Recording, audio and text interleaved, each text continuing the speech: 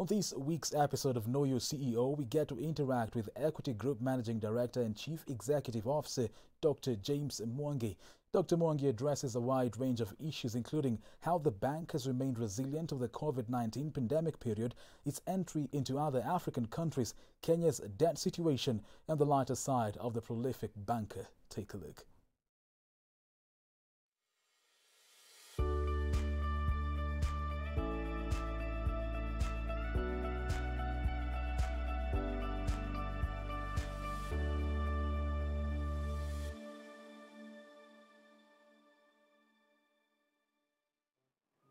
Ever want to know how a CEO sees his world? And here's how. Apart from running an organization and strategizing, their key role is to ensure there is money in the bank. Our CEO this week is Equity Group Managing Director and CEO Dr. James Mwangi. Dr. Mwangi, thank you for creating time. Thank you for having me. Just to get straight into it, Dr. Mwangi, COVID 19 has really hit companies hard. Others have struggled with, with operations, others have even shut down.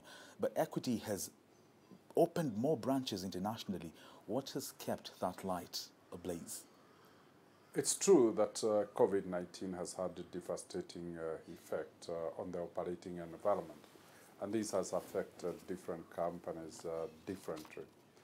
As an aggregator, uh, uh, playing the role of intermediation, taking from those who have excess and giving those who have deficits, our, our responsibility has been heightened uh, to ensure that uh, we keep the rights of the economies uh, on.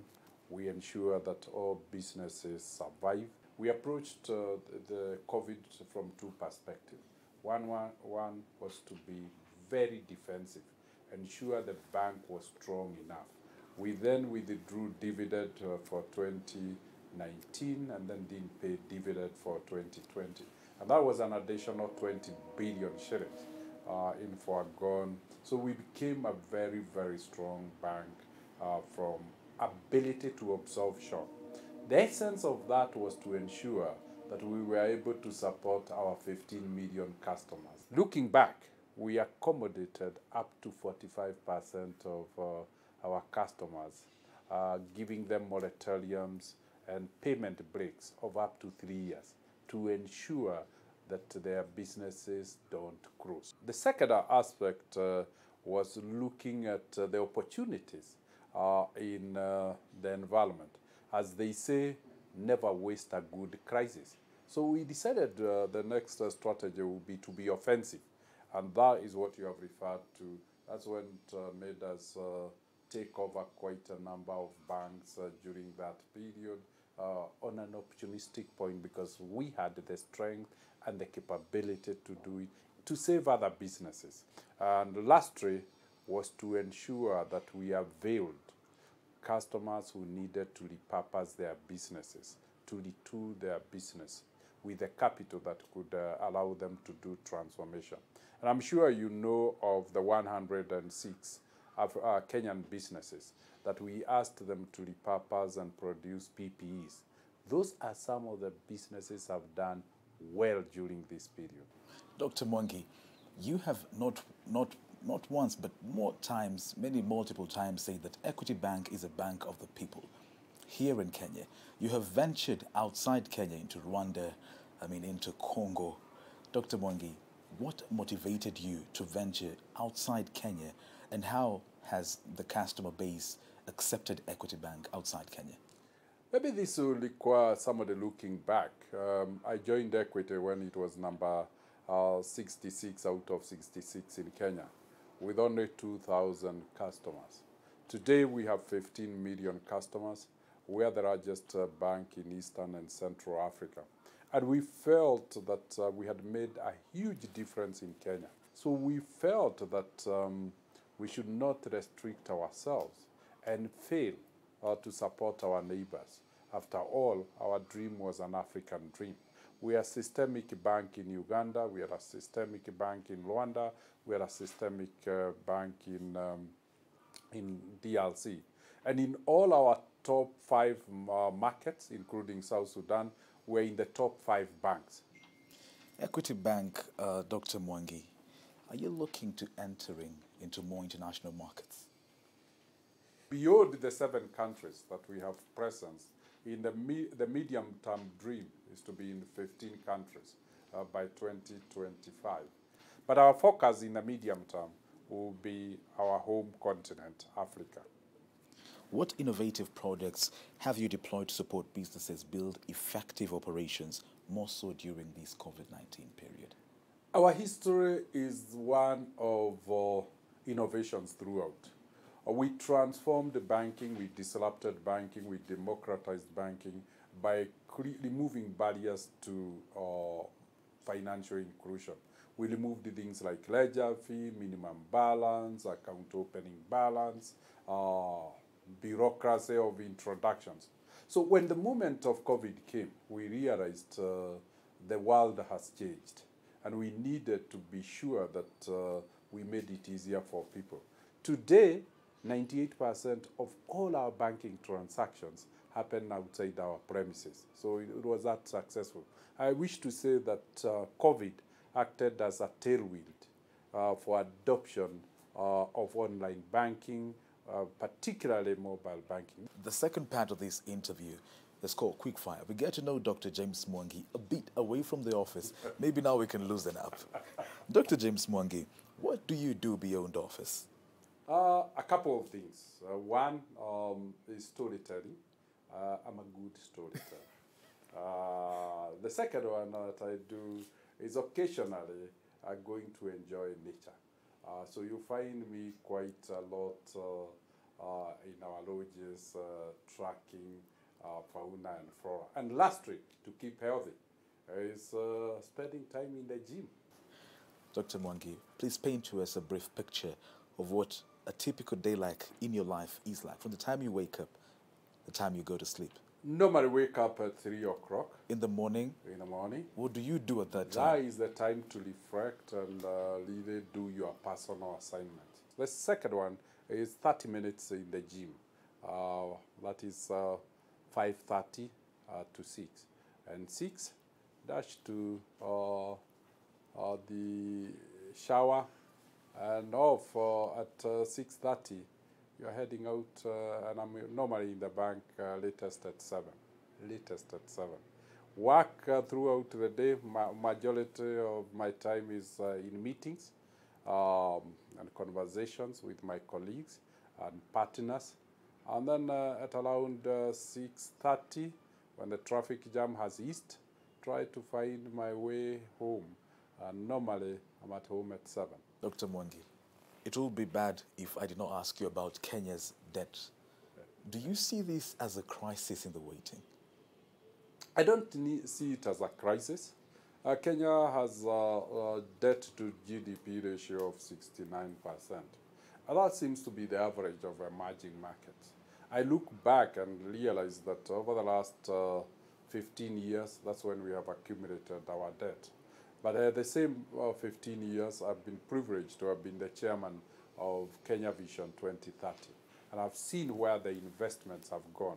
Uh, those debts have gone into generating uh, power or energy, as we call it.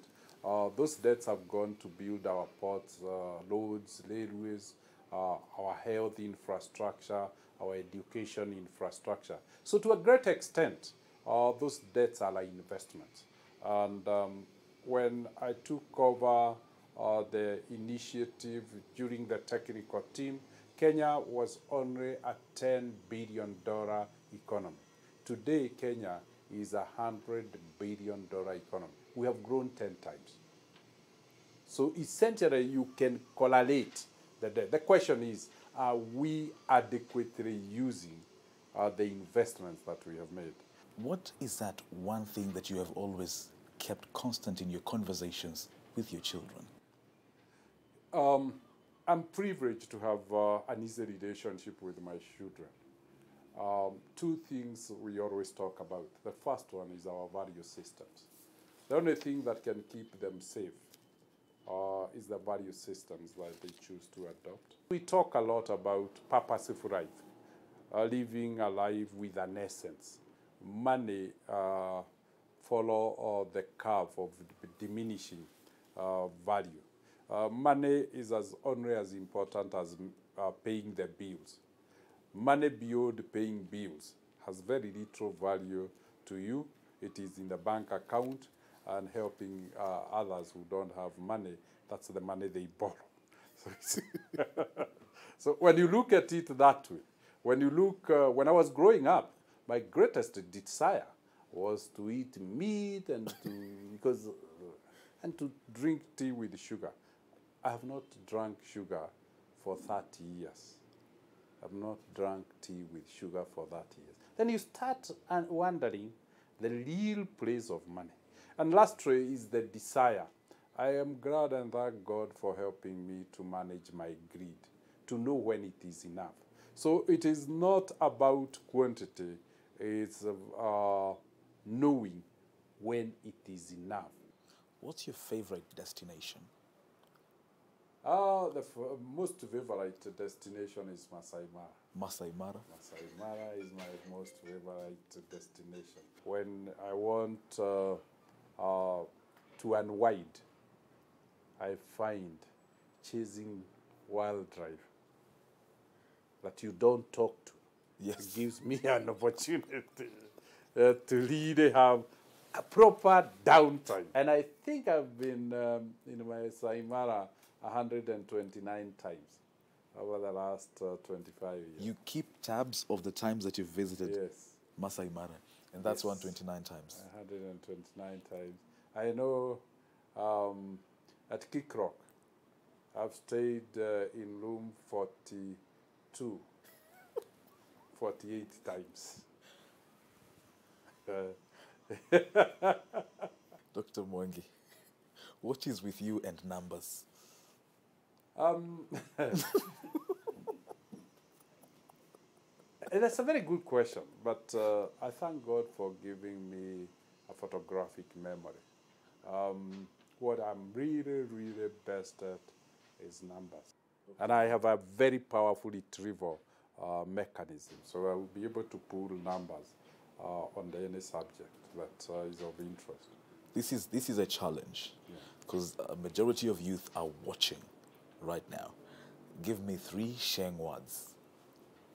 Wow, that I don't want to make uh, uh, myself look uh, stupid in front of uh, my children. So allow me Let uh, me teach not you. to take the offer. Let me teach you one. yes, of course. Kanairo. I have no. That's Nairobi. Oh, Kanairo. Yes. Wow, Kanairo is Nairobi. wow. Mbogi. Is Nairobi. Boogie. Mbogi, Bogie. Mbogi. Mbogi is your squad, your gang, your friends. Mbogi. Maybe we should stop the lessons there because then uh, that one I need then uh, to be done here every day because uh, you know we are nothing but our references. The way I've been socialized, the way I've been exposed to Yes. maybe have a different uh, uh, uh, differences like uh, to to words. So I think that's a language that might be more difficult than French.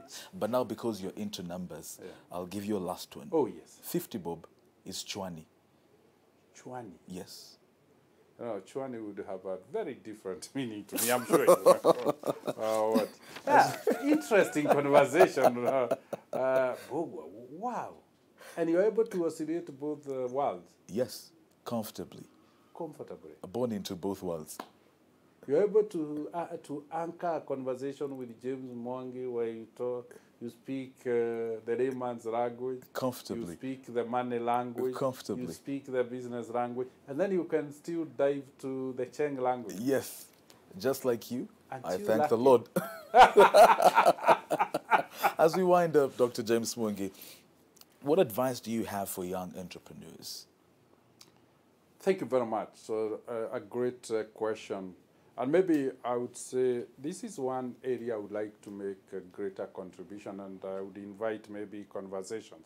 So, where I would really encourage uh, young people is to appreciate, like the way they uh, they had to study chemistry and biology, they have to study the language and vocabulary of business. They have to understand the principles upon which business um, work. The concept of profit must be fully understood. The concept of cost, business cost, must also be uh, understood. So once we understand these concepts, it becomes very easy to understand profit, uh, uh, to understand business. Business is both a science and an art. So the concept of science is what most people uh, miss. Uh, they take uh, the social aspect of business, they take the art, uh, art part of business, but the science of business is where all of us need to do to be to invest a little bit more better, and that is about principles. Dr. James Mwangi, that was a wonderful conversation, enlightening by all standards. I'd like you to sign out for us. This is your camera. Just say the conversation on Know Your CEO continues next Monday. The conversation, Know Your CEO, continue next Monday. Many thanks for watching. Thank you, Dr. Mwangi. It's a wrap.